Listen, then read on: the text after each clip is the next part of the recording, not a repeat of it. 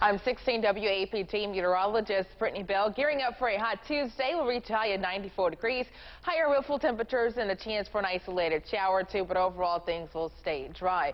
That was the case yesterday, and that's the case this morning. Still watching showers though moving near the Florida Panhandle near an area low pressure and a cold front moving across the central section of the country. That's going to play a factor in our forecast later this week, but mainly hot and dry today. By Thursday, though, that cold front will start to push through.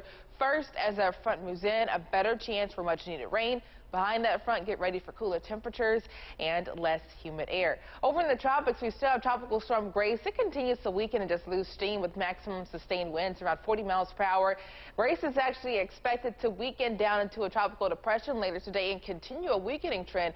And here's why. There is a lot of dry air ahead of Grace, also higher wind shear, two things that aren't conducive for sustaining tropical systems, but we'll continue to keep a close eye on that. Lows might get down into the lower 70s by Wednesday, isolated showers on Thursday and Friday. A better opportunity for rain, cooler high temperatures. By Saturday, the best chance of rain will shift south of the Jackson Metro for the second half of the weekend. Dry with a high of 87 degrees.